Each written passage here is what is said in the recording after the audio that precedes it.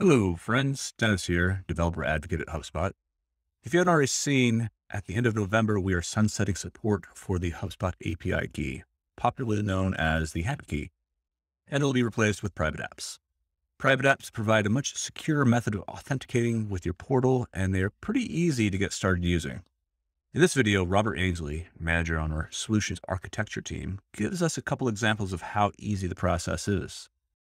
The first example shows you how to use the private app with the popular API platform Postman. And the second example, we're going to walk through how to set it up with a custom coded action. I'll leave some useful developer doc links in the description below, and as always, if you like this content, go ahead and do the old like and subscribe. Okay, let's go. In the coming months, HubSpot is going to be retiring API key as means of authentication for the HubSpot API. This will be replaced with private apps. Both of these items are ways to authenticate your API calls, but the benefit of private apps is that for a single portal, you can have multiple access tokens that are specifically scoped to only certain behaviors. So they have an inherent layer of increased security. So with an API key, you only had one global key for the account. And uh, that leads to circumstances where may have a difficult time tracking where an individual call is coming from if you have multiple apps that are using that key. And if you need to invalidate that key, you invalidate the key everywhere. So wanted to provide a quick overview of what this change really looks like in practice and an example of one or two places that might need to change and how you might change that. This change is talked about in this developer announcement. So as a starting point, we'll look at making an API call API call using the existing method of using an API key.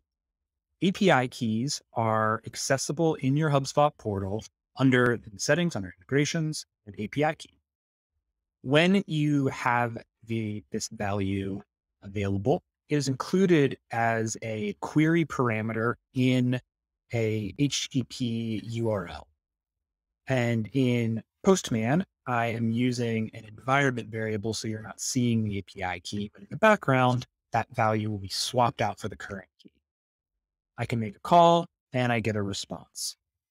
Now, in the new world of using private apps in HubSpot, we'll go through the change that needs to happen. So first, we need to create a private app. I've done that under the private app section. I'm going to create private app. I give it a name so that we know where this, uh, the source of this API call surfaced in other parts of the HubSpot tool. Then we declare certain scopes. I am going to utilize the just contacts, write, and read for this particular app. And I will create it. Now, this token is will be used as a authorization bearer token. I'm going to show this token and copy it. And then in the future, I'll cancel this and get rid of it since I'm showing everyone in this video what this key is. Remember, this is a secret key. Safe. So I copy it and then over in my place where I'm making my API calls, I will add an authorization header, a bearer token, and I'm going to create a new environment variable for this actually. So let's go over to